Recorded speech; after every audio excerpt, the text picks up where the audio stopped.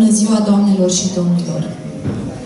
Bine ați venit la Casa de Cultură din Corabia, Palatul Cosma Constantinescu, azi 3 aprilie 2023, zi din postul mare sau postul Paștilor, ce se desfășoară în perioada 27 februarie-15 aprilie, cel mai lung post din calendarul ortodox.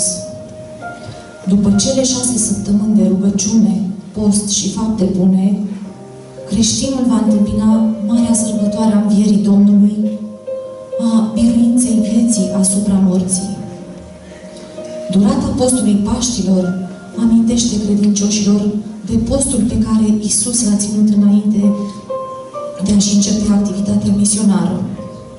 Aceste zile, care diferă de la un an la altul, în vechime, reprezentau perioada de pregătire a celor care urmau să primească botezul creștin de Paște. Cu toate acestea, a devenit o perioadă de pregătire spirituală înaintea sărbătorii Învierii Mântuitorului pentru aceia care erau deja creștini. Este simbolul viu al întregii vieți a unui om care se va împlini prin propria înviere după moartea lui Hristos. Postul mare este caracterizat prin renunțarea la anumite alimente, intensificarea rugăciunilor publice și particulare, îmbunătățire personală și multă generozitate cu cei aflați în nevoi. Perioadă a anuirii duhovnicești, a pocăinței, curățirii inimii și minții, de reîntoarcere către poruncile Domnului și către aproapele nostru, întâmplându-se lucruri specifice, unice și minunate. Muzica din biserică se cântă pe tonuri mai triste și mai tâmbuitoare. Cântările și imnele amintesc cu deosebire căderea noastră, dar și putința de a ne ridica cu ajutorul lui Dumnezeu. Precum și slăbiciunea firii noastre, dar iarăși și putința de a depăși acestea cu Harul lui Dumnezeu. Slujbele sunt mai lungi și mai dese și cuprind rugăciuni și ritualuri unice. După cum știți, ne propunem activități de promovare a cunoașterii valorilor culturii și artei, de dezvoltare și afirmare a disponibilităților creatoare în toate domeniile de interpretare cultural-artistică, recreativ-distractivă, prin prestații culturale artistice în beneficiul corăbienilor și nu numai. De data aceasta, venim în întâmpinarea dumneavoastră cu un program oral religios, Lumina Învierii, prin prisma educației permanente, cu participarea tinerilor din colectivitatea locală, de la instituțiile școlare din oraș, Palatul Copiilor, trupe de amatori pe care noi le susținem, și le promovăm cu fiecare ocazie. Cu bunăvoința Părintelui Guguleanu Cristian, avem și corul uh, parohiei Sfânta Treime. Programul este soțit și de o expoziție de lucrări pe temă religioasă în foaiul Casei de Cultură, Lumina Învierii prin grafică și culoare. Mulțumim pentru sprijinul acordat uh, doamnelor uh, Alexandrescu Magda și Bucureșteanu Adela, precum și elevilor dumnealor.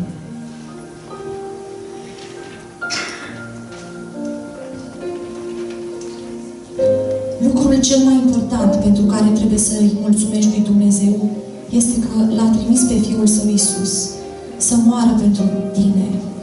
Ți-a iertat păcatul și pregătește un loc în cer pentru tine. Mulțumește-i pentru tot ce ți-a dat. Mulțumește-i pentru oamenii pe care i-a așezat în viața ta pentru a te ajuta. Dumnezeu, Dumnezeu îți dă puterea de care ai nevoie în fiecare zi. O invităm pe scenă cu o poezie plină de sensibilitate dedicată Domnului nostru Isus Hristos de Mitruț Marina. Poezia de N-ai fi tu.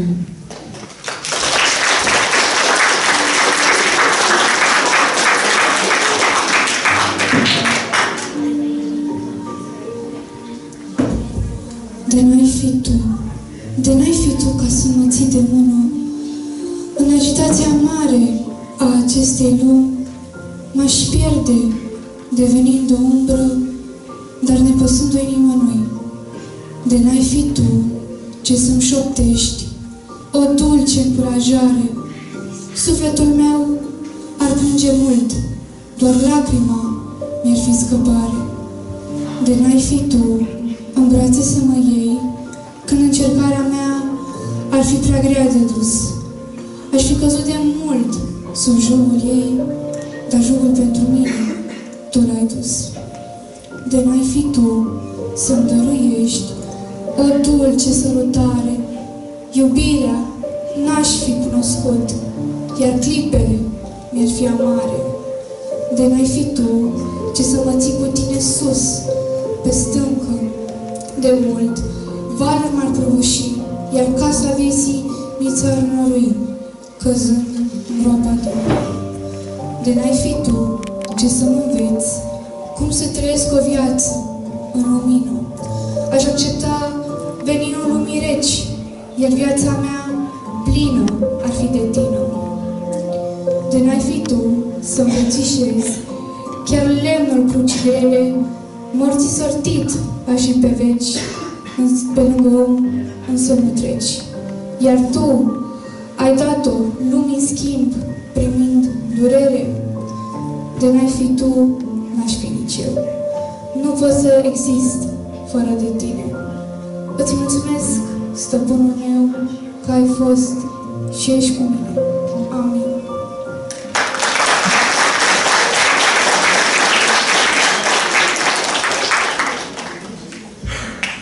Mulțumim, Marina. Succes pe mai departe. Teatrul este un limbaj universal care unește culturi și popoare. Este o formă de artă, este divertisment și este educație în același timp. Teatrul exprimă sentimente și trăiri. Ne poate face să zâmbim sau să plângem. Ne pune pe gânduri și ne transportă într-o altă lume pe parcursul reprezentației. Teatrul există încă din antichitate. A avut o istorie lungă și interesantă și s-a dezvoltat împreună cu societatea. Considerăm că trupele de amatori, copii și tineret trebuie să fie susținute și încurajate prin toate mijloacele. Debutează azi, pe scena Casei de Cultură, cu sceneta Judecata, trupa de copii și tineret Art Seekers. Mult succes!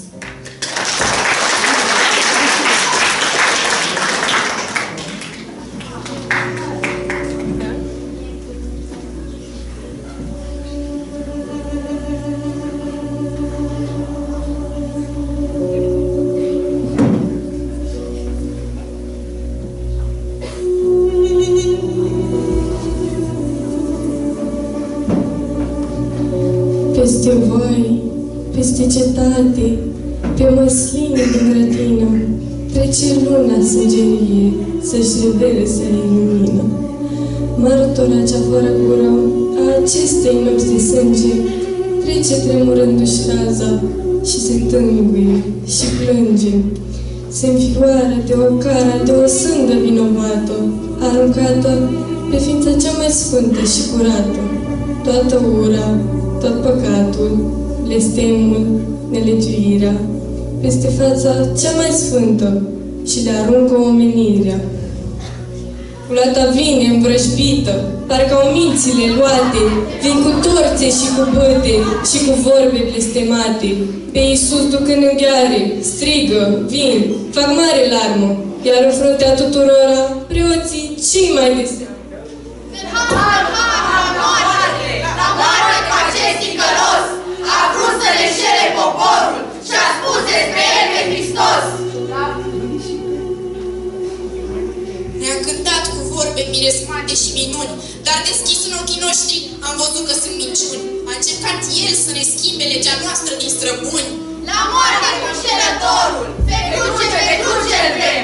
A vrut să le șere poporul, noi legea lui Moise avem. În odaia judecății de Pilat sunteți chemați. Mai bine el să iasă, vreau să ne păstrăm curați, să putem, fără vreo vină, și pace să mâncăm, Paștele ce ne așteaptă, nu putem să le spurcăm. Iată, iese acum afară marele prefect Pilat. Care e omul? Iată acesta. Și cu ce e vinovat? Dacă n-am fi fost vreo vină, nu l-am fi adus legat. Legea voastră ce vă spune? N-aveți voi judecători? Legea e bună și e sfântă, dar nu îngăduie omor. Omor, dar cu ce e omul ăsta într-atât de vinovat că în inimile voastre chiar la moarte e condamnat? Nu e bine, înciți mai multe și nu obligă să păzim cum aceasta, cine de atât de ce sfânt s-o păstorim. Este vinovat de moarte, este vinovat, am spus, că se crede a fi Mesia. De Hristos acest Iisus. Nu! Cum să fie Mesia, când poporul și înșală și pe ascuns în întărătă și îl îngăduie la răscoală, îl oprește să dea birul împăratului cezar. Vrea să ne dărâme templu, zice că ridică iar. El ne strică legea veche, unisică-i vrăjitor și își face atenție oriunde, pe creduri din popor. Spuneți voi acum popor, voi pe cei care v-a înșelat, cu minciun, cu vorbe goale, e sau nu e vinovat? Da, e vinovat de moarte! Nu, nu e vinovat. Toate câte vi l-au spus sunt acuze mincinoase. Nu e vinovat Isus, el e plin de bunătate. Taci femeie și de bună, cât a făcut acesta? Vrea să martorii să spună. Martorii să vină în față! Haideți, cei ce ați fost chemați să dați mărturie, rând pe rând vă împățișați! L-am urmat și eu o vreme, dar am înțeles apoi că el vrea ca să se pună cel mai mare dintre noi. Ne spunea de o părăție și că el va fi împărat și că va înălța cu slavă pe cei care l-au urmat. Însă, eu i-am spus atunci, se cuvine dar, cum am dat și până acum, să dăm birul lui Cezar? Se cuvine, a spus dânsul, să dați birul acesta celui ce e împăratul vostru. Hm, cu alte cuvinte lui. Da, și într-o zi acesta a luat 2-3, dar eram și eu pe acolo, pe aproape printre ei, și l-a spus să strângă oameni, să-i cheme la răscoală, ca să ne deslege lanțul care vrea să ne înconjoară.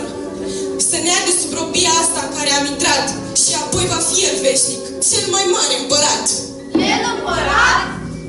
Eu mă închinam la templu, precum Moise ne-a fost spus.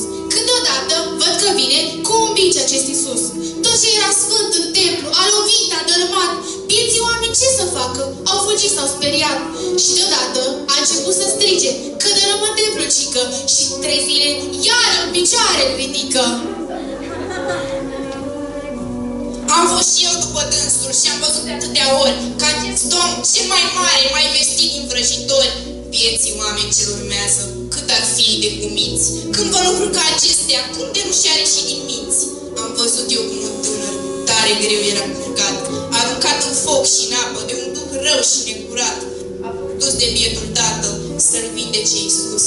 Dar acesta dintr-o dată a închis ochii și a spus niște vorbe neînțelese, un descântec, și a chemat pe stăpânul acestor duhuri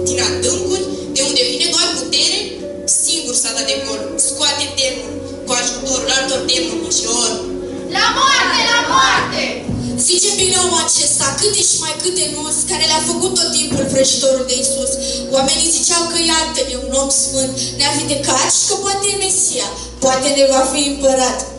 Poate e venit de roșie, fiul celui sfânt, dar cunosc eu că se trage tot din oamenii de rând. Las că știu eu și pe părinți, Nazaret știu pe toți, ceată de tâlhar cu toți, oameni din mica, hoții! Hoții, hoții!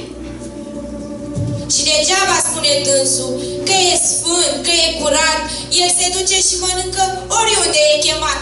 El se duce și cu oameni și bea și vinul cu femei, băgătoși și prieteni, am văzut cu ochii mei. Când am fost și eu la templu după obicei străbun, el striga în gura mare că sabatul nu e bun. Am mai spus că legea noastră nu e bună cum e ea. Și-a dat el o altă lege, că cea veche este rea. La moarte, la moarte! Îl urmează și copii și mame și-au găsit mântuitor. Face ucenici din tâncii și învață tâlhăria. Ce va fi cu neamul nostru dacă avem așa Mesia? Tâlharul, la moarte! Hoinărești și zi și noapte, să n-auzi, nu-ți gospodari, nu muncesc nimic. De unde au ei bani dacă sunt hoinari? Băi, profită de oricine are milă de sărmani. Ele spune vorbe goale, ei în timpul ca cu bani. Voi acum poporul voi pe cei care v-am e sau nu e vinovat. Vinovat la moarte, răstignește, răstignește! Dar eu nu găsesc vreo vină să atârne atât de greu ca să-l trimit la moarte. Nu-l trimit la moarte eu. Ești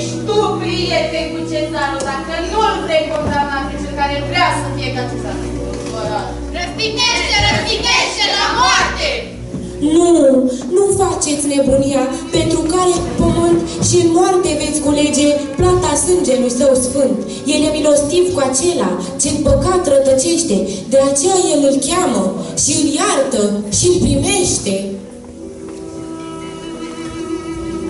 Eu am fost din calea afară, de afundată în fără de lege și pierdută în deznădejde. Cine avea să mă dezlege? Dar când a venit Mesia, cu iubirea lui din soare, mi-a îngenunchiat viața și am plâns pentru iertare. El m-a dezlegat de moarte, El mi-a dat viața nouă și ar vrea ca din iubire să vă dea în dar și vouă. Ați nebunit poporul, nu ne trebuie Hristos să ne spună nouă Scriptura cât suntem de păcătoși. Noi avem în templu legea jertfă în chip de ispășire și acum vine acest Mesia să ne spună de iubire. Fără de legea îi se vede pe acest chip de condamnat. Nu-i Mesia omul ăsta, răstignește-ne, Pilat! Răstignește, răstignește!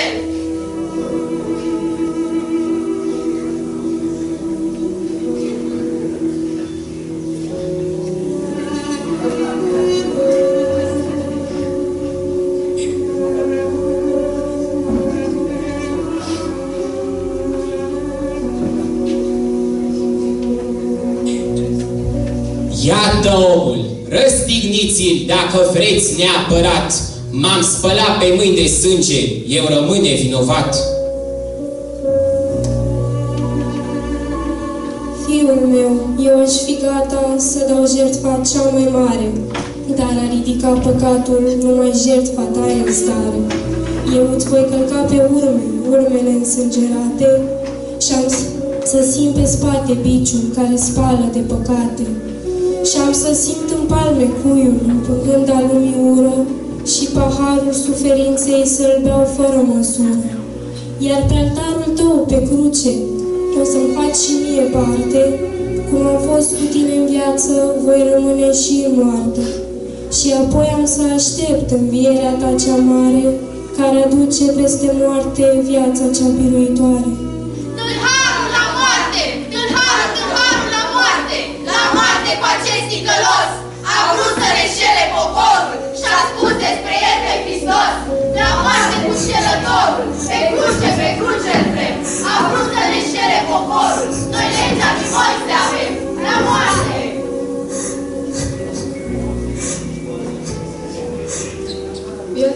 Viața Maică îndurerată s-ar fi dat pe sine lor, ca să scape fiul dulce, pe al lumii salvator. Dar a înțeles prea bine că în jertfa de pe cruce stă salvarea omenirii, dacă întreaga nu o aduce. Peste veacuri tot răsună uragloate blestemate, care strigă nebunită, răstignește-ne-l, Pilate, răstignește-ne-l, căci și astăzi tot mai cheamă și suspină și ne scoate toată ura, tot păcatul la lumină. Tu și eu și toți aceia ce auzim chemare dulce, ce răspuns vom da iubirii? Răstignește-ne-l pe cruce? Haideți azi, sub jertfa sfântă, care spală de păcate, să ne lepădăm viața, primind viața fără moarte. Să fim fiii Lui de acum, până în cer, în veșnicie, pentru jertfa ta cea mare, Domnul nostru, slavă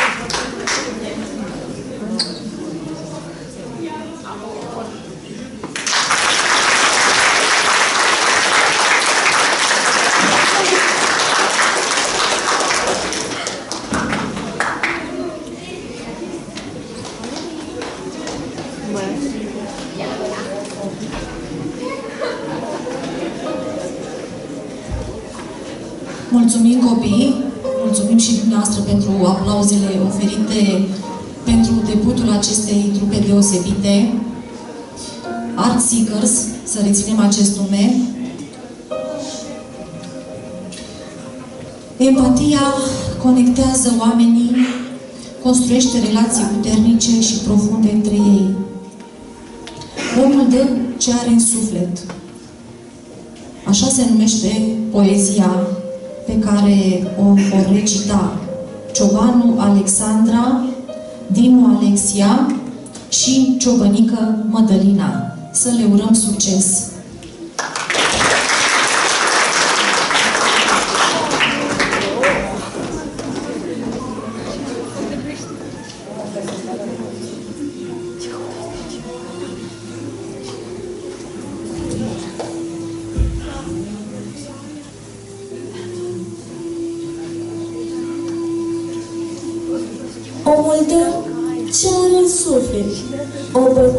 Bătrână cerșitoare, zi de zi umbla prin sat, cerea hrană, de mâncare sau ceva de îmbrăcat. A ajuns și la o casă mare, cu oameni bogați, cu piscină, cu terasă, dar păreau cam iritați. Supărați nevoie mare pe bătrână că cerșește, că le strică din onoare pe la poartă când sosește. Și atunci stăpânul casei, vrând să-și bată joc de ea, îi arăt eu ticăloase, să nu o văd la poarta mea. Într-un coș a pus gunoi, l-a împachetat frumos și dădu ca un ciocoi, azi am fost mai generos. Bătrânica mulțumită a plecat la casa sa, însă a rămas uimită când văzu ce se afla. Și a doua zi în zori, și a doua zi în zori, se întoarse la bogat. A umplut coșul cu flori, i l-a dat și a plecat. El rămase răuimit. Nu știa ce să răspundă, ce am dat și ce am primit de la biata moribundă. Stai, bătrână, nu pleca. Alerga într-un răsuflet spre bătrâna ce zicea, omul dă ce are în suflet. Fii atent cum faci un bine și fi milostiv mereu, mâine fost să fii ca mine, încercat de Dumnezeu.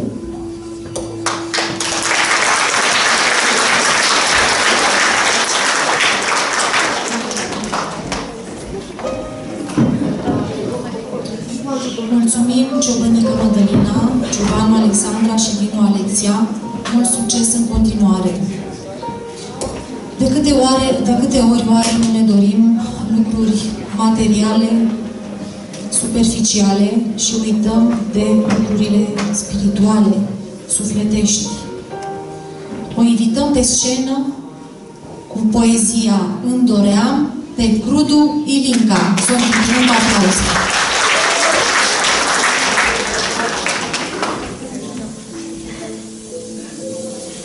Îmi doream. Mă plângeam că viața e grea și că sufletul mă doare și am văzut în fața mea un biet om fără picioare. Îmi doream să am mai mult lucruri scumpe și mărețe până când am cunoscut un om orb, plin de tristețe. Îmi doream să port pe mână ceasuri sau brățări frumoase, dar văzut am o bătrână fără mâini, cu haine roase. Îmi doream să am de toate. Mă gândeam că sunt sărac și am văzut pe pat de moarte mulți bolnavi, fără de leacă. Atunci mi-am țintit privirea către cer ca să vorbesc, Doamne, iartă-mi reapornirea de ce am, îți mulțumesc.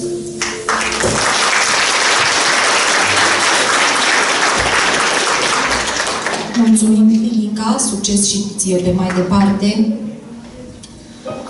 Puterea rugăciunii nu curge din noi.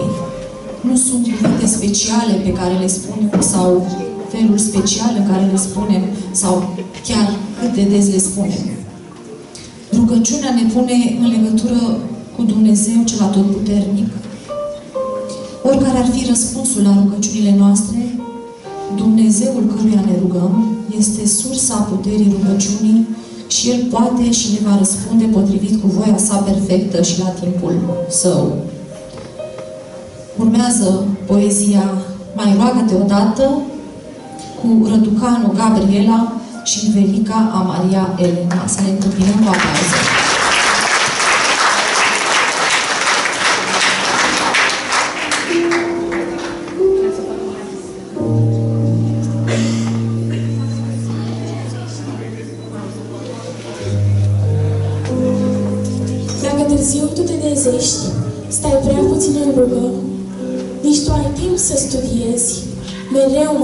Fugă. Când de la masă te ridici, e ora întârziată, chiar înainte ca să pleci, mai roagă-te odată.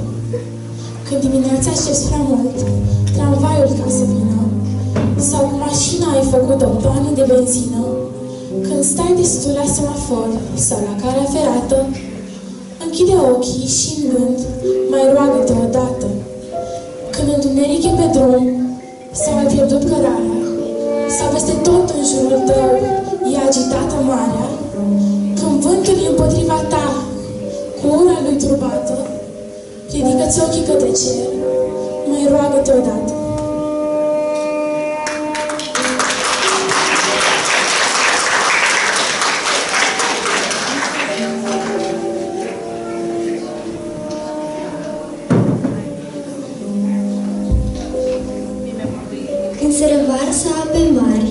Sau vine uraganul, iar un cutremur de pământ ți-a prăbușit tavanul.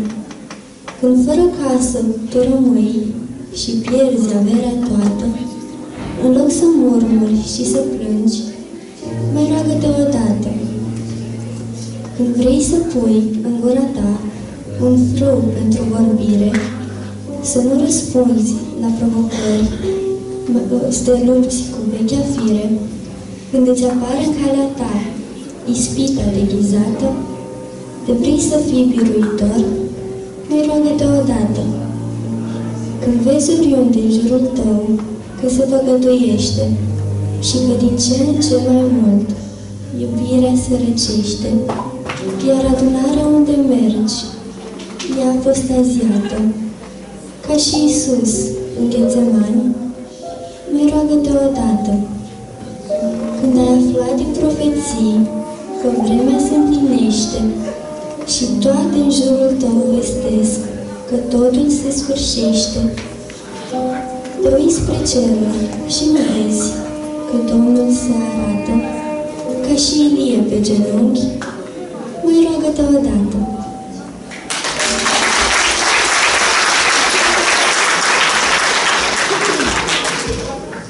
Mulțumim fetelor, succes pe mai departe. Ricesna din slavonă frecistina înseamnă prea curată.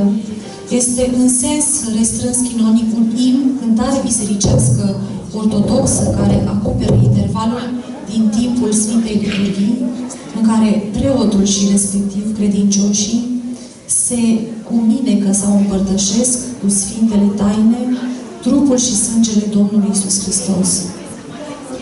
Denumirea a devenit ulterior generică pentru o gamă largă de cântece aparținând folclorului religios românesc. Pricesnele au un conținut tematic variat, centrat în special pe comportamentul moral creștin, rugăciune de iertare și mulțumire și laudă la adresa lui Dumnezeu, a prea curatei Fecioare Maria și a Sfinților, sunt cântate cu precădere în bisericile parohiale de către credincioși, iar în ultimul timp au devenit parte a repertoriului multor artiști populari consacrați care au depus eforturi considerabile pentru culegerea, adaptarea și păstrarea lor. Pe scena Casei de Cultură invităm corul parohiei Sfânta Treime alături și cu binevoința Părintelui Cuculeanu Cristian.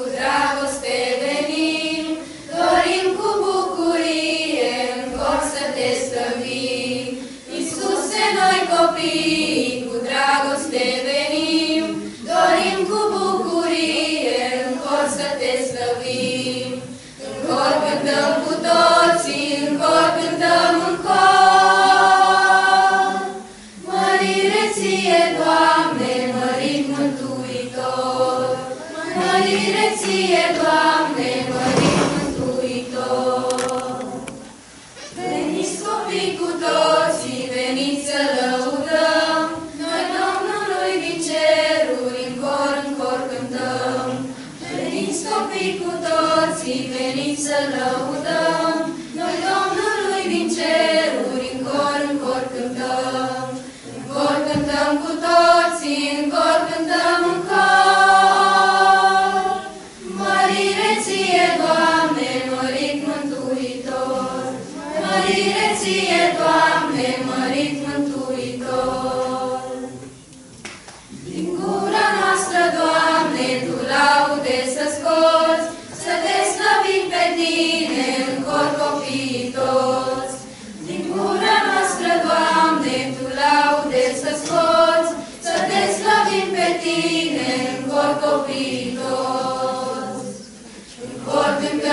go.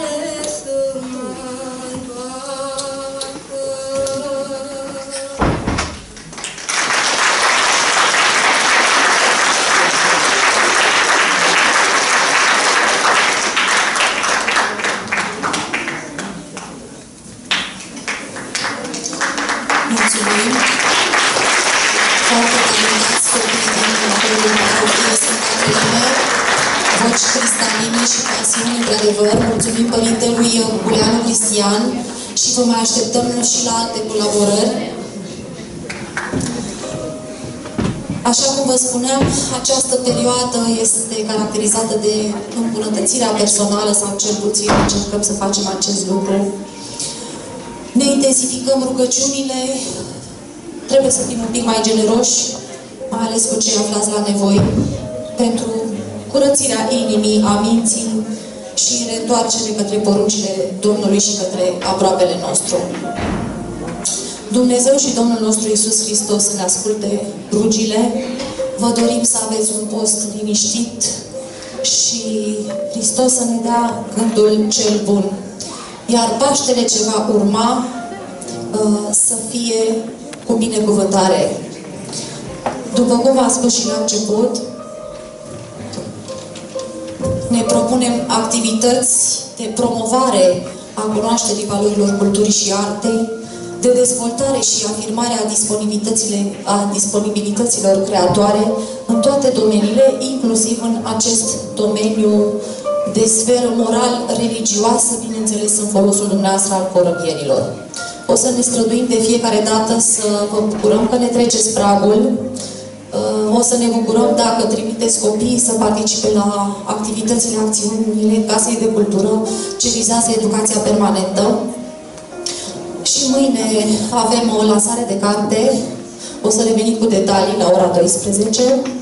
Vă invităm să, la finalul acestui program, să vizitați și expoziția din foayer cu titlul Lumina Învierii prin grafică și culoare. Mulțumesc încă o dată doamnelor profesoare și elevilor dumnealor care uh, au lucrat pentru a realiza această expoziție. Așa că vă doresc o seară cât mai plăcută. La revedere și Doamne ajută tuturor! Mulțumim pentru prezența noastră!